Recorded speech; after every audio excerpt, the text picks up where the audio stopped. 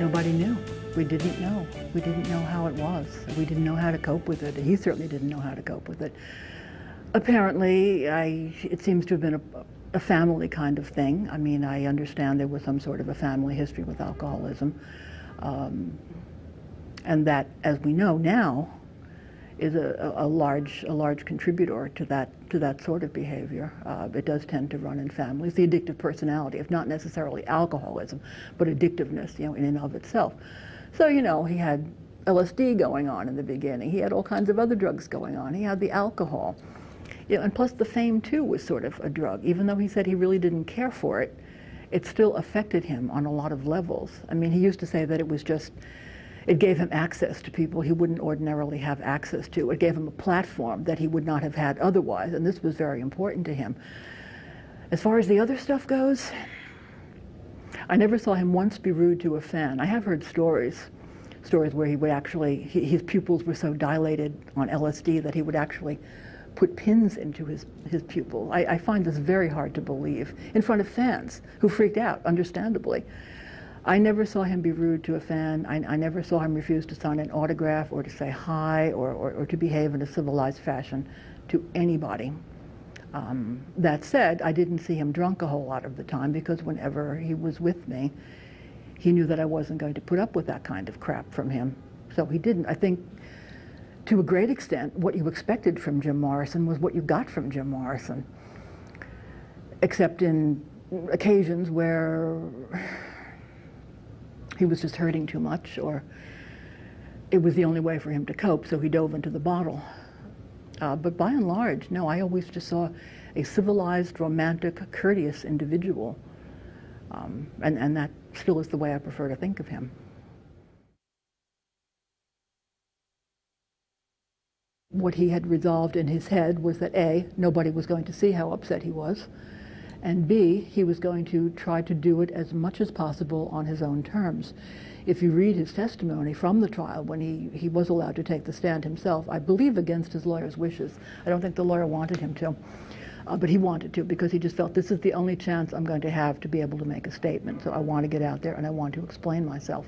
He seemed to feel that this would be the only chance he was going to get to be able to explain to people, even though he knew they weren't going to understand a word of what he was saying um, why he had done what he allegedly had done or had not done, as, as he always maintained, um, and also just to explain various other things about himself, about the counterculture, about what he was doing as an artist, about his background, about all these things. Um, he knew it wasn't going to avail him in the slightest, but he did want to get it there and get it on record that this is how he felt about it and that people should know about it, and, and the jury should certainly take that into consideration. Um, if you read the testimony, you will see that he was so brave. He was so incredibly brave and so funny.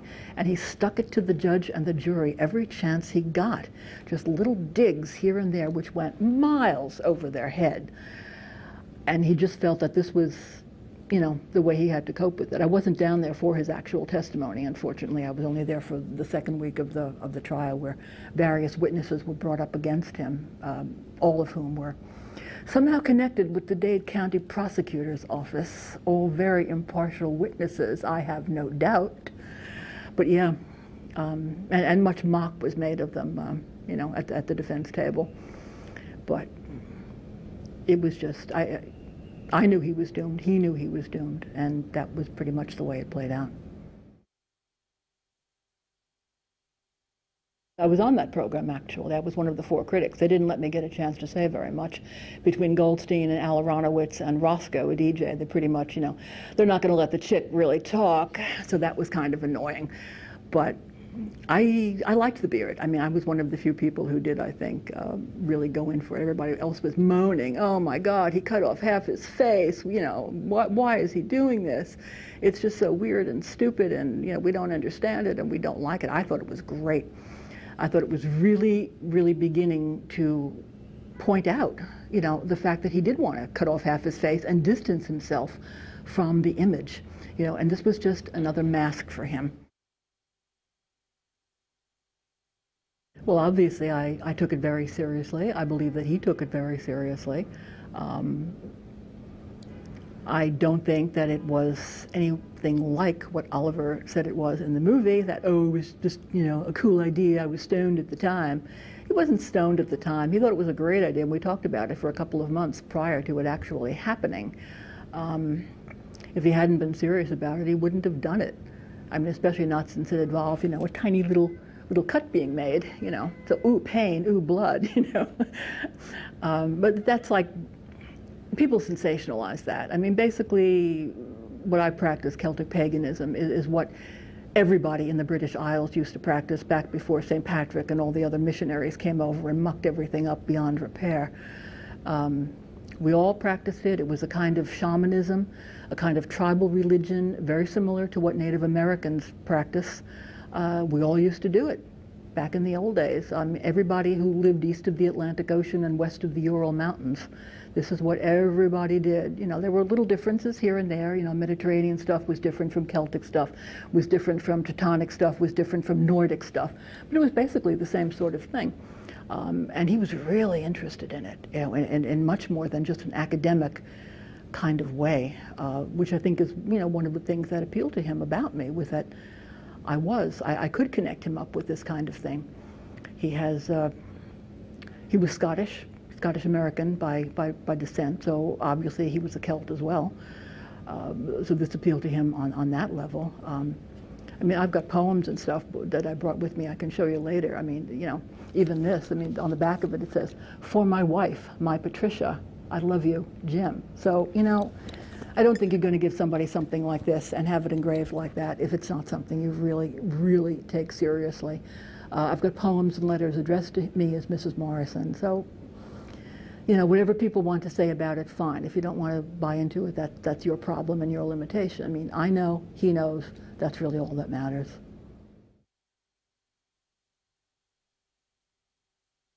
I did a review of the Beatles' White Album in Jazz and Pop, which um, he was reading when, when I interviewed him for the first time. And I, I said something like, the Beatles have kind of become sui generis by this point. They're, they're kind of like, like children or dragons. They, they, they really are appreciated only as what they are, you know, because of this album. He did not buy that in the slides. We had a big fight about that. Um, he just he admitted that they had been innovators back in the day, but he had thought they had gotten really, really self-indulgent, which is quite ironic considering the kind of insults that were hurled at him later for the Doors being incredibly self-indulgent. So there was a little bit of pot, meet, kettle, you're both black. You know, there was a little bit of that as well. Um, he did listen to a lot of stuff, even though he claimed he didn't. When he was uh, at my house one night, we were I was playing um, John Wesley Harding, and he sang along to pretty much all the songs on it. So, which was really, I wish I had a tape recorder at the time because you know, Jim Morrison singing along to All Along the Watchtower and Down Along the Cove would have been really, really interesting. Um, so he did obviously know what people were doing to the extent that, you know, he could sing along with it. Um, on the other hand, he didn't really care for bands much like the Airplane or the Dead, even though he liked them as people, or so he said. Uh, the Airplane and the Doors toured in, uh, in England. In England, actually, they did that big English tour in '68, I guess it was, uh, and went over to Stockholm and Amsterdam and Germany and a couple of other places.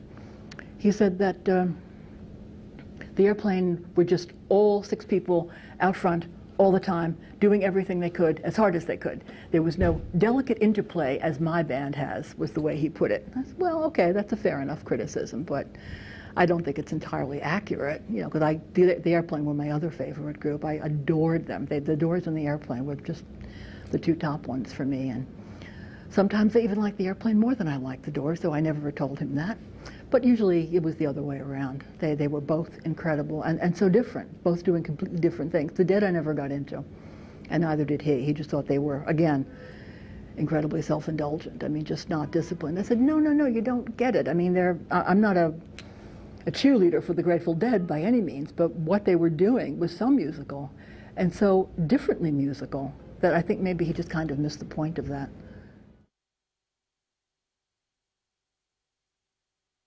I feel, and I told him this to his face, that as a poet, he was a great songwriter.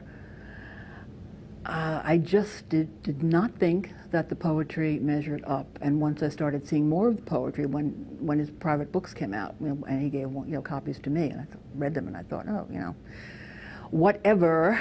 If I have to work harder reading it and interpreting it than the creator did writing it, then I think that's very, very wrong.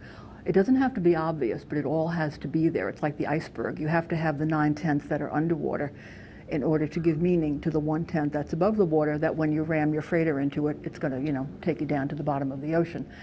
I really did not think he was that great shakes as a poet. As a songwriter, I thought he was brilliant. And I really hoped that when he got into the poetry, that it would be as brilliant as the songs because he wasn't tied to the requirements of a melody line. He could just spread out. Unfortunately, I think he spread out too much.